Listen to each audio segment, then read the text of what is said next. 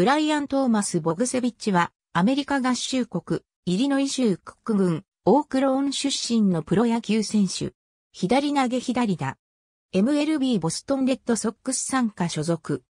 日本での登録名は、ブライアン・ボグセビックだが、英語でも同じであり、語尾を地とするのはセルビア語の発音である。中霊園大学では、先発投手としてプレー。2005年の MLB ドラフト1巡目で、ヒューストンアストロズから指名され、7月6日に契約を結び、プロ入りを果たした。2008年のシーズン途中から外野手に転向した。2010年9月1日のセントルイスカージナルス戦で代打として出場し、メジャーデビューを果たした。2011年は主に対右投手時の右翼手や代打として起用され、87試合に出場した。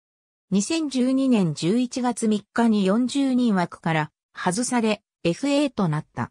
2012年11月21日にシカゴカブスとマイナー契約を結んだ。2013年12月12日にジャスティン・ルジアーノとのトレードでマイアミマーリンズへ移籍した。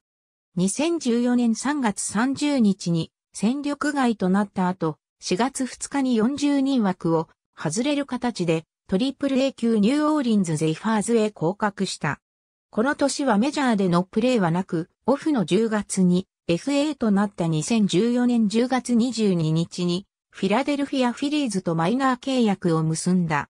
2015年は開幕から傘下のトリプル A 級リーハイバレーアイアンピッグスでプレー。6月30日に2015年パンアメリカン競技大会の男子野球アメリカ合衆国代表に選出されたことが発表され代表入りしている。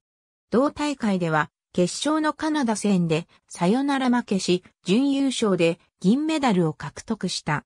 9月4日にメジャー契約となり40人枠入りした。10月19日に40人枠から外れ、トリプル A 級リーハイバレーへ降格した。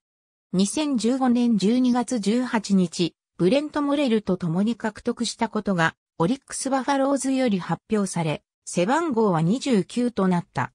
2016年1月26日に、モレル、エリック・コーディエと共に入団会見が行われた。2016年のオープン戦では15試合に出場し、日本塁打を放った。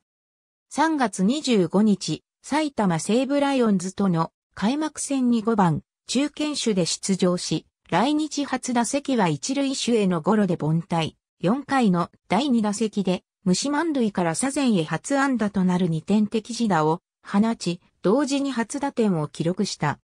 4月15日の対西武戦の7回に初盗塁を記録し、23日の対千葉ロッテマリーンズ戦では7回の第3打席で初本塁打を放った。